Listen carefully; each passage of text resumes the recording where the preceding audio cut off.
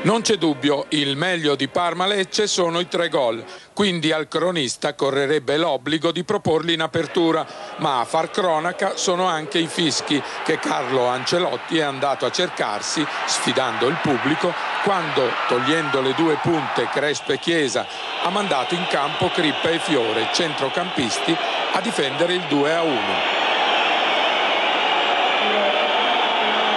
Io non ho sfidato nessuno pensavo in quel momento che la squadra era in difficoltà di rinforzare la zona di centrocampo. Tutto qua non era assolutamente un atto di sfida.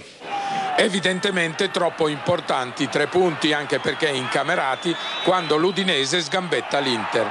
Ma eccoli gol della premiata ditta Dino Baggio ed Enrico Chiesa dopo un primo tempo da 0 a 0.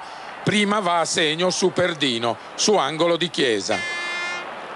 Poi, sempre nella ripresa, è Baggio a conquistare palla allungando a Blomqvist che provoca Chiesa al punto da indurlo a scodellare in rete, uccellando Lorieri, per la verità in libera uscita. Da applausi anche il contropiede dettato da Piangerelli e che ha portato in gol Rossi dopo che Atelkin, il migliore dei suoi insieme a Ciprien, aveva centrato il palo. Quando esce Milanese il pubblico gli riconosce il merito di aver ben tenuto sulla sinistra insieme a Blomqvist.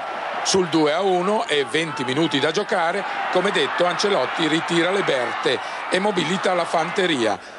De Francesco, che aveva rilevato Casale e sfidato il miglior Buffon, in unità di intenti con Rossi, Atelkin e Martinez detta il ritmo del gioco e insieme mettono in soggezione il Parma con la sola solita eccezione per Cannavaro un centrale di leonina autorevolezza sì, eh, siamo un po' stanchi di ricevere dei complimenti ma pochi punti speriamo che il 98 ci porti un po' più di fortuna Buona fortuna a Lecce, il Parma dal canto suo torna sulla scia di Inter e Juventus.